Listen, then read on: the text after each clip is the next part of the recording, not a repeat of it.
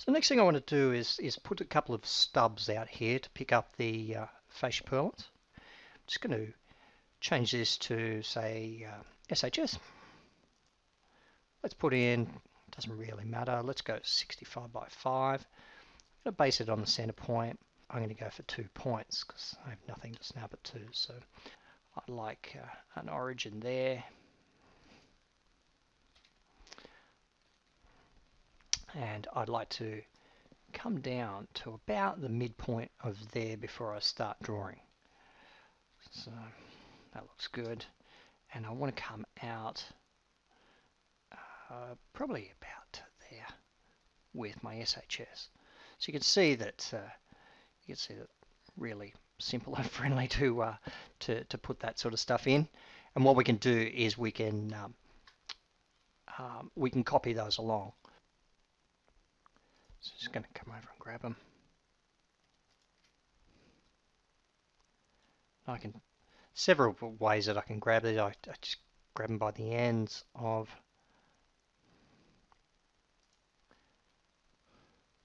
the construction axes. There we go. That's fine. So we just copy all those down. Okay, so that just leaves us, the last thing left to do is to hook these up. We're going to use the mplate command to do that. Just simply come down to our object. Now what it's going to do, before I just select this, I'll explain it. It's going to remember the last connection used, which was the mplate there from the rafter to the column. So it'll try and put that guy in here as well. And don't worry about that. That was the last one used. So we can either change those settings in here, or we can go and uh, select from a template which I, I have available here. So um, that uh, it just jumps back to, uh, to, to the right settings that we need.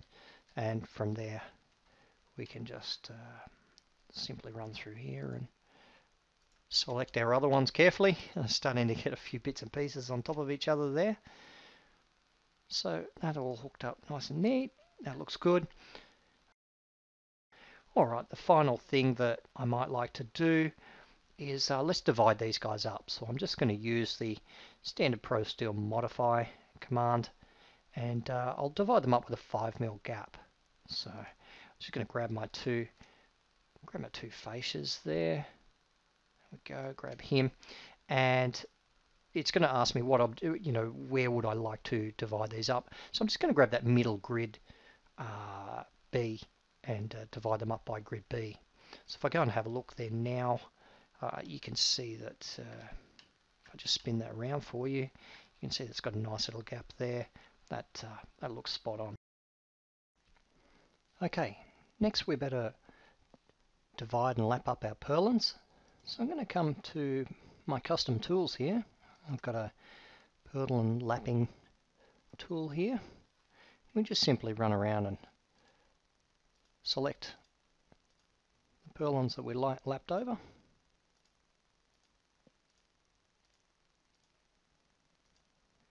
course you can grab this by window or crossing as well, but I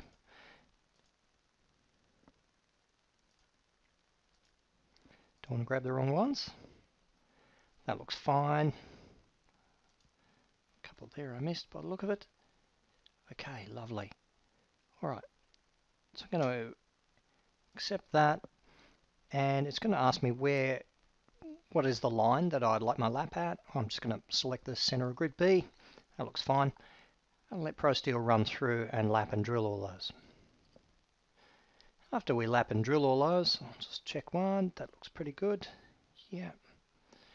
Um, the next operation will be to put all of our uh, purlin cleats in. So we'll go to our purlin cleating tool. We'll run through and we'll hook all of those up. So you can do this in, in several operations.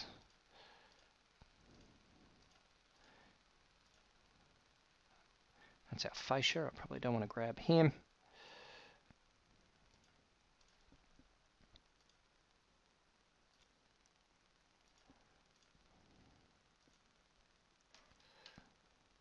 spin him round just to make it a little bit easier just so I can see what I'm doing.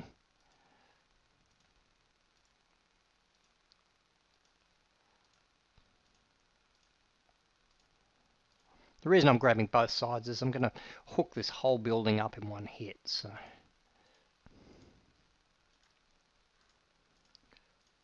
Run through and grab all those guys. And I want these little guys on the end there too. I'm going to hook those guys up as well. There we go. So that's fine. And then I'll just nominate what I want to hook those guys onto. So I'm just going to grab all those structural columns and rafters. There we go. Looking good. Grab that guy. Yeah, got all that. That's good, except that. What it's going to do now is it's going to run through and it's going to connect all of those guys up. So, you know, there's a fair bit there for it to do, so it'll take a couple of seconds. It should uh, happily run through there and hook all those up in a second. Now the last thing to be hooked up to those actually was the floor joists, I think. So let's just see what it's going to do there. Just check one of those before I finish the command. Yeah, it's picked the right one. That looks good. Pretty happy with that. Alright, and that's just hooked all those hooked all of these guys up. Which just leaves us our open end bays here. So I'll just come down to this end. I'm going to leave that other end open just for now, but we can we can finish off this end here. If you remember rightly earlier, we uh, we were going to just uh, use the ProSteel automatic tools to put purlins across here, uh, uh, girts rather, across here. But um, I just want to show you how easy it is just to be able to essentially, you know, freehand in steelwork. Um, is really friendly with this sort of thing. Um, so what we're going to do, I'm just going to tell ProSteel to, to match that existing shape and um, match the properties of it. So uh, you don't have to go and fossick through the list, so to speak, and try and find it.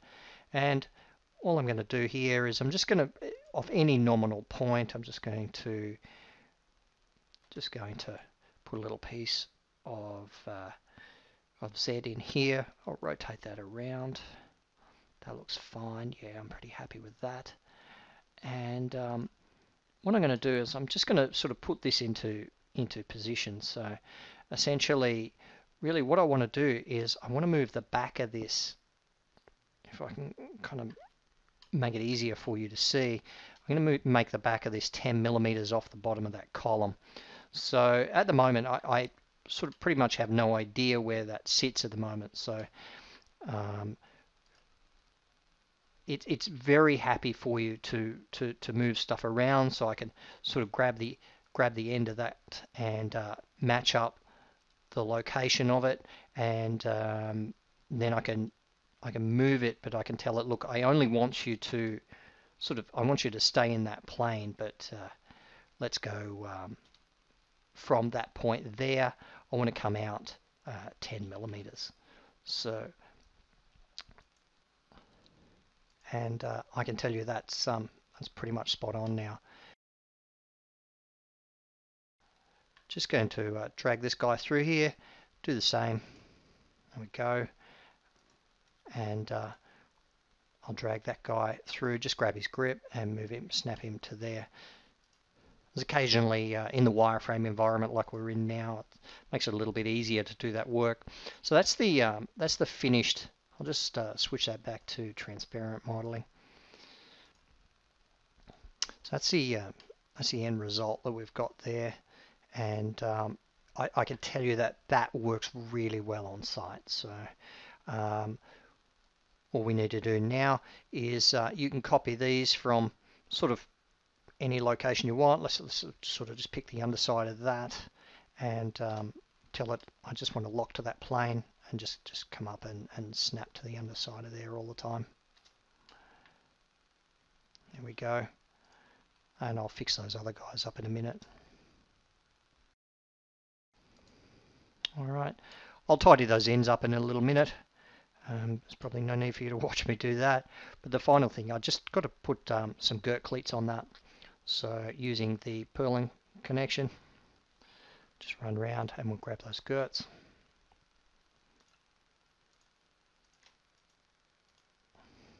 There we go. That should have popped those in there nice and neat. Which it did. We'll need to put some bridging in as well. Within my tools here I have a little bridging function. It's it's based around the uh, Metroll Hooklock 2 bridging and um, let's put a couple of rows here throughout. So I'm just going to choose some roof bridging, select the upper, select the fascia and just grab, just to just tell the software what objects I want to run between as support members. So Now, although it's going to look a little bit different to the uh, picture that I showed you at the beginning of this presentation, I would like to show you that, that this model is still fully parametric at this stage. Um, so, you know, if things need to update or change, it, it is very easy for us to do. These beams here that run through the middle of the building, just, just for the example, what I'd like to do is uh, I'd just like to grab those guys there and uh, I'd like to move those out of the middle of the building, say, uh, uh, let's go uh, four meters uh, over here. Let's just place them up this end of the building. And um, what it's going to do is going to move all of those connections that I put in, keep all the cleats all right on the right sides and so forth. So just to show you that everything is still absolutely parametric uh, if anything needs to update, it will all update the way it has to and the way that you would expect it to as well. Going to put some floor joists in between this member and this member. Back to my templates and I'll make those 150s. You can see just with a few user settings and saving them off as, as templates that are specific to your projects, can make it very quick and easy to run through and call them up later. So it's running through now, placing all the floor joists for me and uh, putting in connections in for those as well. I'll just take a couple of seconds to do that because there's a fair bit of work there for it to do. As you can see, it's placed all those little 150s in and uh, hooked them all up as well. There's a couple of stair commands. This one's my favorite. And I like to place mine just out here in space just just till I get the parameters of it correct and then I, I take it into the structure so um, what I can do is once I sort of get this get the basis of it correct uh, it's just a simple case then that I can I can move that in sort of from top of steel through to top of steel. So we'll place that uh, maybe, uh, let's just go maybe 100 millimeters just for the argument. 100 millimeters just off to the side there. That looks fine. Only other thing I'd probably do is uh, at the moment by default that puts that in as as grating. You could sit there and, and say maybe I want to put timber or something across the top here Alright, we're almost to the end now, so I'd like to put some handrail in here along the edge of my beams and uh, just cover up this opening. There's a couple of different ways that we can add handrail to our structure. Uh, firstly, we can add it to a polyline or smart line that goes around our structure.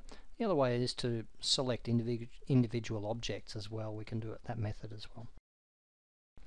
Okay, so that's our construction line through there, a little guy. And what we're going to do, we're just going to tell ProSteel that we want to put a handrail along that. So we select that smart line and